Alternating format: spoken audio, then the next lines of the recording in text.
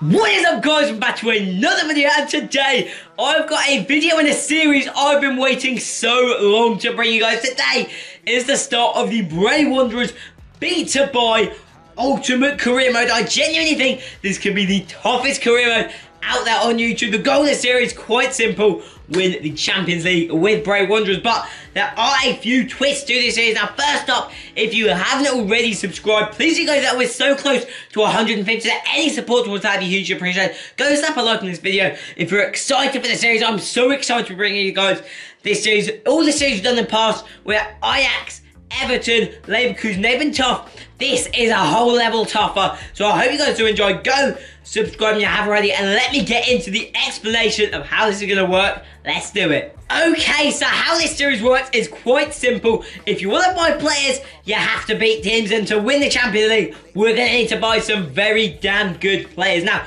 what that means is simple. We get, for every time we beat a team, a transfer ticket for that club. And that means in this first window, it's going to be very, very tough with no transfer tickets. Because if you don't have a transfer ticket for a club, you can't buy for them. And for every transfer ticket you get, you can buy one player once that's used.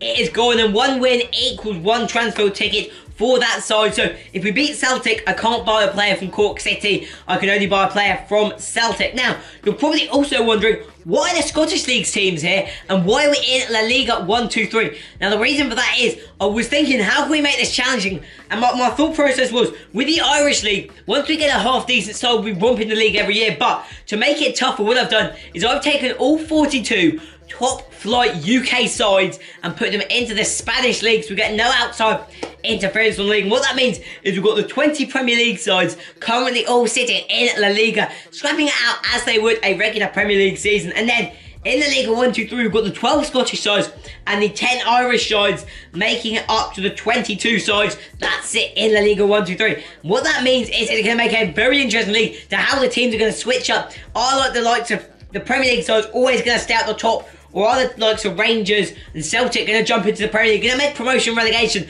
that bit more exciting than it would normally be with a regular series where it's like Premier League teams go down, Premier League teams come back up, and it never changes. This should be way more exciting. Of course, it gives us way more options of players to times. Obviously, we pick Celtic, that's a decent player we can buy if we can go and do it. Now, the rules with the beat to buy as well Obviously, you have to beat players, beat teams to buy players for their clubs, but you're allowed as many youth signings and as uh, many free agents as you like, because they are, of course, not affiliated to any clubs. Also, our budget is going to be very challenging. Look at that, 400 K pretty much very, very minimal. And that means in this first window, we're going to be, on this first team, we're going to go in for a youth squad almost. So, so those of you that love youth squad legends, going to be a little bit like that for these first few seasons. Well, I hope you guys do enjoy. Do go subscribe and let's take a first look at our squad. Okay, so a first look at this team and this series is going to be a very long journey. This is the first 11 that I've just about managed to scrap together from what we have been. We've got Pender up front,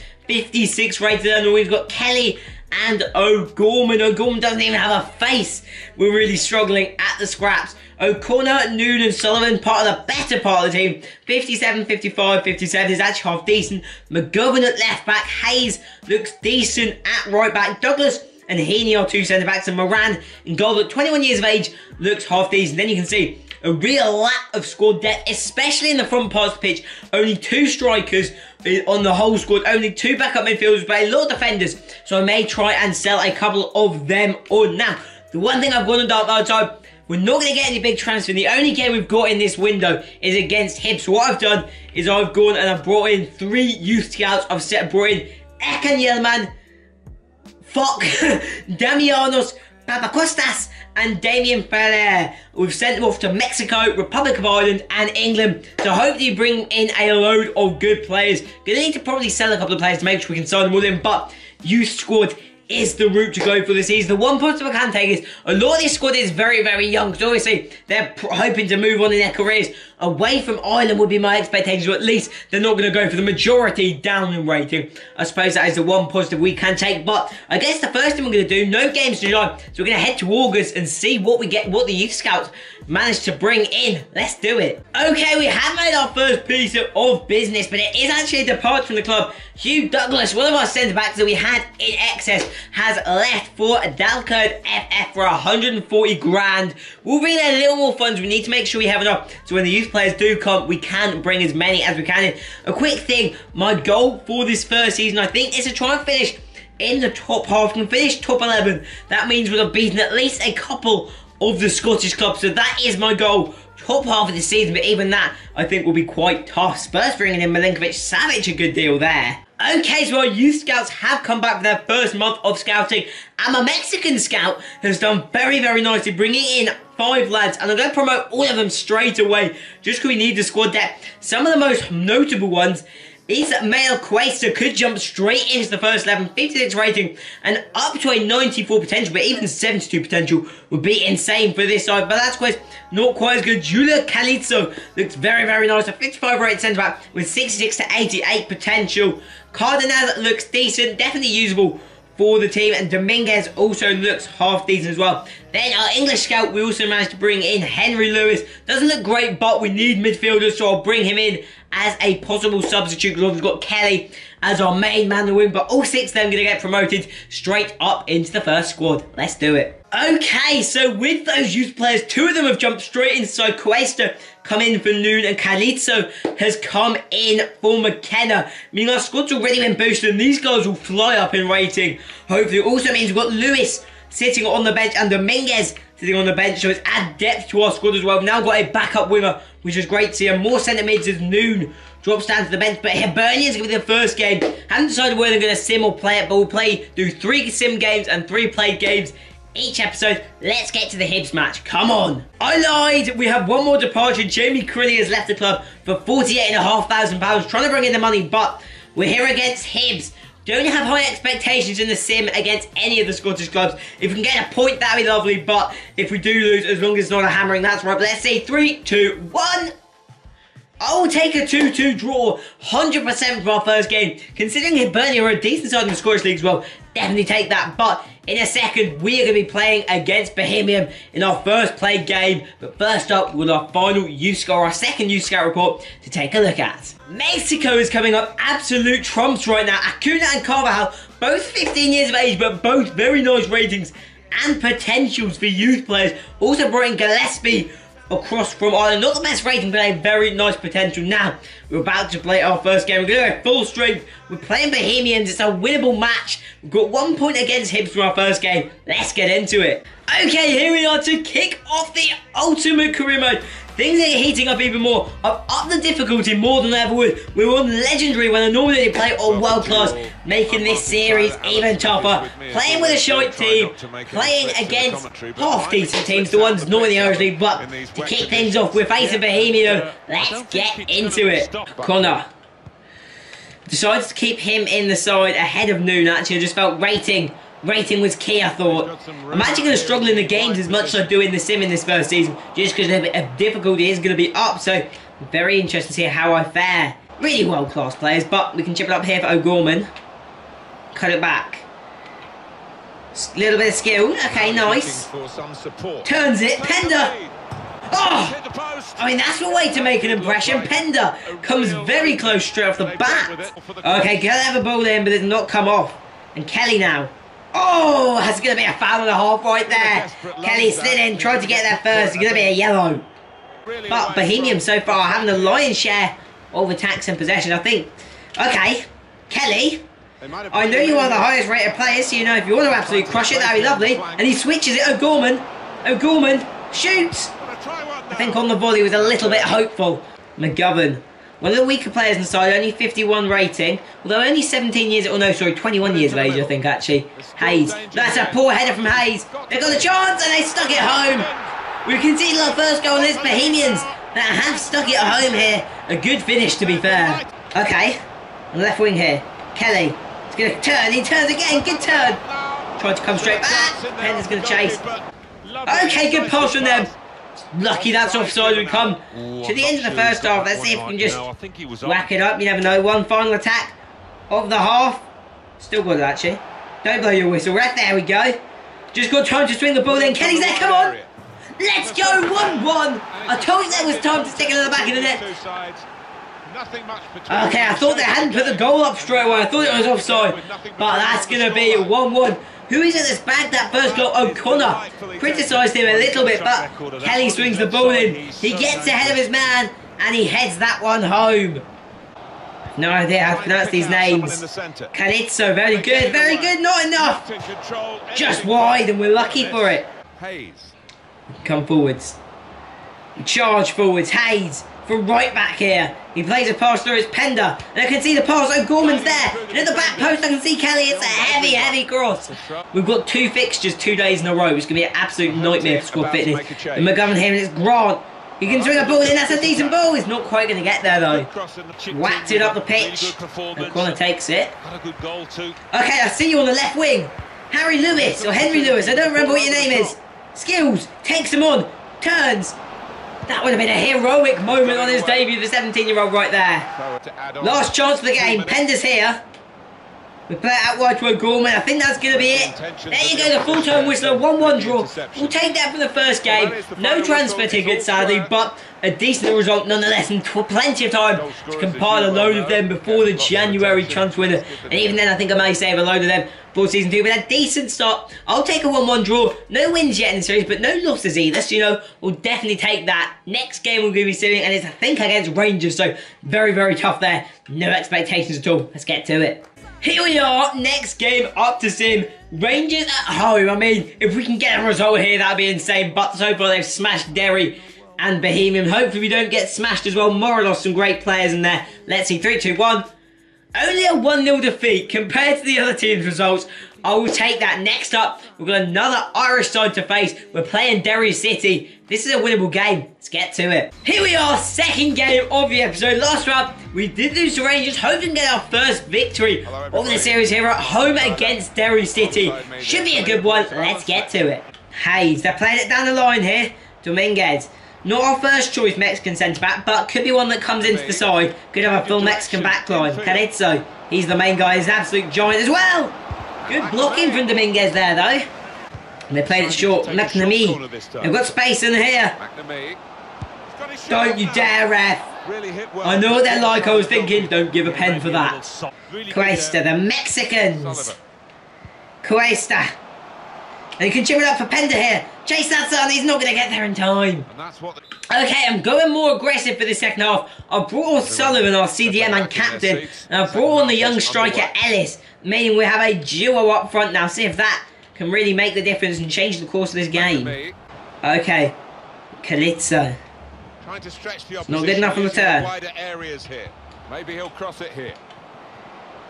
Come on. That's an easy one for Moran. Hasn't been particularly challenged, conceded a goal earlier in the first game, but really hasn't had too much to worry about so far. We can play Harry Lewis here. Ellis. Okay, we've got good men on here. And oh, come on, Ellis! Ellis, back the goal, come on son! Stuck it wide! That will be team. Okay, watch out. Watch out. Good defending. Hayes hasn't done enough over yet. Press it, press it, don't! Mm, there he just hit that one over. Kelly tried to turn his man without any success. And Dominguez here. Pressing on McDonough. No idea if that's correct, correct pronunciation. Ref! Foul on man in my eyes. There's a goal kick either way.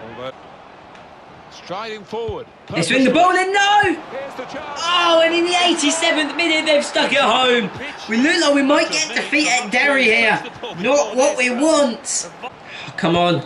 It's only 1 0. But the late goals cost us right there. And we miss out on a point.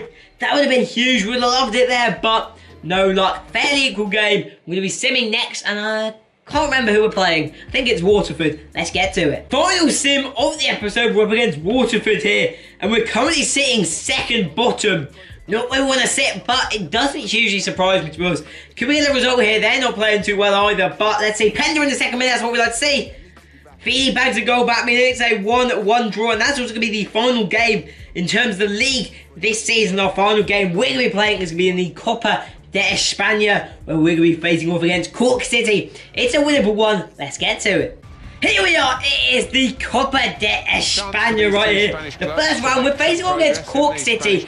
Definitely a winnable game. Transfer ticket up for grabs, and on top of that, I place, and I expect what will be the round of 32. It must be, because there's only 42 teams in, so a win here would be absolutely huge. Would please our board, which would be perfect. We don't want to get sacked. That would be an absolute nightmare. 37 year old keeper in net for Cork. We're talking a very difficult couple of fixtures. Literally, tomorrow in the series, like 25th of September today, on the 26th of September, we're facing Kilmarnock. The squad is being stretched to its absolute limits, but another team is playing in green and blue today, or Green versus Blue. Celtic and Rangers have drawn each other in the first round. That's going to be a cracker, but right here, right now, we're Bray Wanderers and we're facing Cork. The Gorman. I want to get our first win here. I can feel like a cup victory would be beautiful. Now, if we win in extra time, it's all fair game. It's just if we win. I expect, I don't know whether this goes to replay or not, so really I just want to get the win done and dusted. That's exactly what we need. Get it sorted nice and quickly. Trying to catch the. Oh, Although. Good vision here. Cork seem to have other ideas. Great defending, Gibbons there. That's deflected behind. Coach would want to stop the supply no! The middle. How has he whistled that in from there with a Cork City player? Do not know, but we'll run down. It's Buckley that sticks at home for Cork right here. Okay, we can play forward Sullivan here. And back to Pender. Can play it on. Kelly, jim it through. Come on, someone big head. Oh, too big a head. No corner, suck it over. Oh, he's missed it. Got the ball, and they're going at the opposition. Okay, if he's onside, he's offside. If he was on, that would have been beautiful. Come on, no, no, no, no. Keep up, Moran. Good keeping, good keeping. That means mistakes from defenders. Okay, easy interception right there, Gibbons. Up to O'Gorman. Uh, Cuts it back. Just going to play it backwards now. I can see the next pass on this left hand side. Come on, snuck it through. Kelly's there. With square. Horrendous pass, but O'Connor's tackled. Who missed the last chance. Sullivan, O'Gorman, chip it up for Pender. Come on, be on side. Please be on side. I think it is. Come on, let's go. Great passing move. And Pender's the man to make it 1-1 here. Back in the tie. Come on. Uh, oof, we needed that tackle. And McGovern flying in twice. Make sure no pass gets past him. Although they're coming forward here, they're going to get a long shot to the half here. Just make sure we defend it well. Thank you, Moran. They're going to get a corner here. Big stop. We can get... Oh, I didn't get that pass off. Kellyco's coming back. Not enough. They've made it 2-1 Cork City here. a good, a good pass, clever one. Kareko couldn't quite get back in time. And it's Shepherd. Played well today. And he's made it 2-1 to Cork. Okay, come on. Good passing. Sullivan, stick it home. Should have finished that. It's a great passing move between Sullivan and Pender there. Come on. Watch out. Watch out. Clever low ball there. Almost tricked us all. We need to get possession back from Cork if we want to score. And we have to score. But if we concede at the same time, it could be all over. Great stop. Great, great stop. That was insane. And the camera camera's running out of battery, what we like to see. Come on, two minutes. This is it. I want to get the win, so we need to equalise here. No! We're going to get one final chance. This is it. This is it. Maybe the chance to salvage Come on. this game. Go on. Little pass, it's still on. Come on. Come on. Come on. Find it. Come on, little passing. Come on. No. Come on, maybe. No. Couldn't quite stick it home at the end there. And we've been kicked out of the cup. Another defeat. I think what this proves is how tough this series is going to be. But I hope you guys have enjoyed. What am I on about? We've got to take a look at the league tables first. But no, so unlucky there. Let's take a look at the tables and then we can end the episode off. Okay, to finish off the episode, as I was trying to say, let's take a look at the leagues. As you can see, it ain't looking too good. Three points from our first five games. I did expect it to be this tough, and it's really not missing any of the points. Limerick sit bottom, yet to score, so at least we're not sitting there. But in real life, four teams go down, so in reality, we're sitting in that relegation zone, which is exactly where the team will fire me if I'm sitting by the end of the season. However, still plenty of time to pick it up, and I guess there is still plenty of time to improve. Dundee and St Mirren not having the greatest start of the season. Any of the Irish teams in the top half, yes, Dundalk and Derry City both managing to sit in the top half. Dundalk in the playoffs, Celtic absolutely crushing it. No real shock to me. got five from five. I can see them and Rangers really rocking the league in this first season. The playoffs, however, really anyone's game. But I hope you guys have enjoyed. I'm so excited to be bringing you guys this series. I'll see you guys next time.